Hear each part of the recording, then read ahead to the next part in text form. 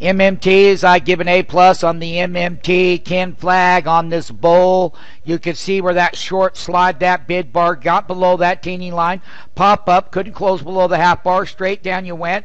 Time to get out. Went net long right back up here to test this half bar. And this is what price volatility really is. And the public just doesn't know how to deal with it.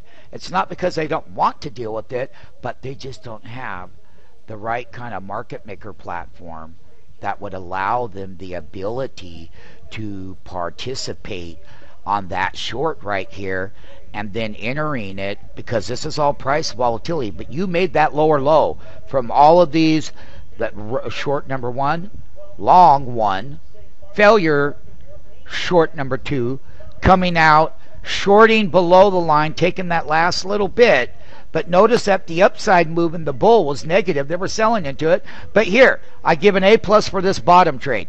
That was one, two, three, four, five, six, seven, seven and a half teenies up here. And you came all the way back up in the price volatility, tested that half bar, and you came right back down. This is called the TQQQ bull, and it's weighted to the NASDAQ 100.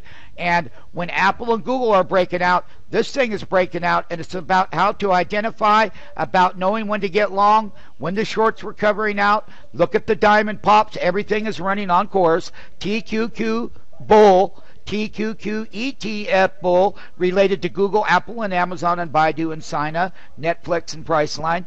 You know, that bull is how you want to benchmark when equities, when bulls breaking, equities going higher and bears going down. But I give an A plus for knowing how to get to the lower low to where this last bounce late in the day would be.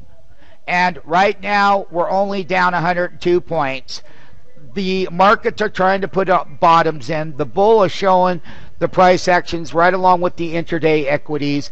The descending diamonds for the short side, descending diamond values going down, then the diamond values popping up telling you to be long. And this is the directional movement for 2012, 912, 2011, and A plus MMTs.